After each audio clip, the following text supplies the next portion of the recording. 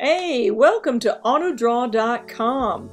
Today we're going to explore the uh, this free website. Uh, it is all about artificial intelligence. It's really neat. Uh, we're going to be using just the pencil app up here. And uh, just so that you can get your, your bearings here, the three lines up here at the top, you can start with any size piece of paper. You can download, share, uh, they've got how-tos and shortcuts, and they also list the artists that have contributed to the icons that you can use with the Magic AutoDraw pencil. But we're going to do the regular drawing today. Up here at the top, uh, this shows you the line thicknesses that you can use. This blue dot, well this highlights all the different colors that you can use as well. So there's lots and lots of colors for you to use. So I'm going to start with bright red today. So I'm on my draw. Uh, I'm going to make my line a little bit thick. So uh, we're trying to come up with a variety of lines. And don't think that your lines have to be perfect because, you know, mine are not. I'm drawing with a mouse. So let's see, there's a horizontal line. Uh, let's change colors. Let's do, I'm to do something a little bit fatter. How about a vertical line? We need a different color. How about, ooh, how about green? How about diagonal? Let's make something a little bit thinner. Diagonal lines. Some artists call these hatch lines. Not hatch like in an egg. So we've got diagonal. When you have hatch lines, that means that the lines cross each other. And you'll see this in a lot of um, comic books, a lot of other drawings where they use their lines close together to make shading of an object.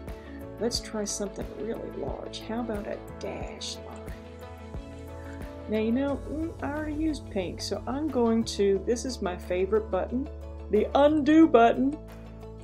So I can undo that and let's pick a different color. How about a dark blue? How about some dashes?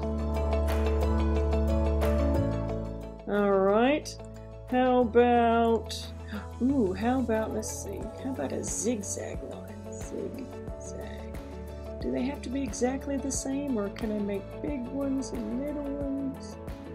I sure can. Guys, you know what? I'm the artist on this piece of paper, just like you're the artist on your piece of paper.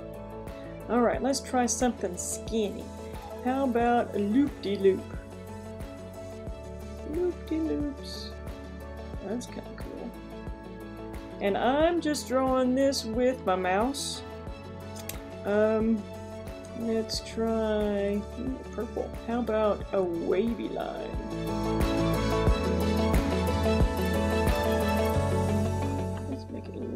Thicker. And let's try a different kind of line. How about, ooh, hot pink. How about a bunny hop line? Oh, those are just frowns, aren't they?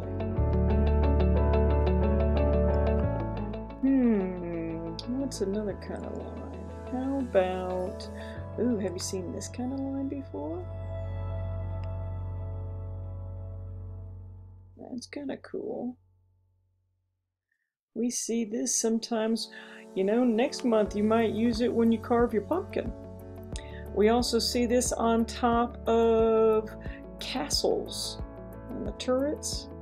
And those we also call dental work because it looks kind of like teeth when we go to the dentist. Okay, let's see. How about, ooh, what about a dotted line? Let's go over here to shape. I'm going to pick out the circle and I'm gonna click and pull and I can make circles. Ooh, I can make, how about if I make it look like the circles? I'm going farther and farther away. Ooh, that's teeny tiny. Okay, you know it'd be cool if they had color inside them, which we can do. Let's go over here to the fill button and let's change our color. How, ooh, how about this electric blue here? Ooh, Looks like water bubbles, little air bubbles. Okay. Now if I click out here, oh, the whole page goes that color, which is kind of cool. How about I change my my dots to, oops, how about I change my dots to white? Ooh. There we go. Teeny tiny. Okay, let's see. What's another kind of line that we can do? This, I don't know if that green will show up very well. Oh, how about a dash line? Oh, we already have a dash line. How about, hmm. Ooh, what about a wandering line? Oh, I'm still on the fill button. Tell you what, let's do the undo. Undo. And go back to my pencil. And a wandering line. Oh, that's too thick. I'm going to undo that too. I'm going to change the thickness here. And a wandering line just kind of goes wherever it wants to go. Boop. And off the page. See. I could do another kind of wavy line have you ever seen one? It looks like the letter C. So let's try down here. Letter C. Letter C. And then over. It looks kind of like a cursive C. So here's a C. Oh, I went over my dots. I to go over my dots. C. Looks like little waves, doesn't it? Okay. So Here's a good start on a variety of uh, lines that you can use in your picture. You can always start a new one and maybe make patterns with your lines. So have fun exploring and using AutoDraw, uh, using the pencil today, and we can use the magic pencil another time, or you can experiment with it yourself. Okay, have fun with AutoDraw.com and your line design.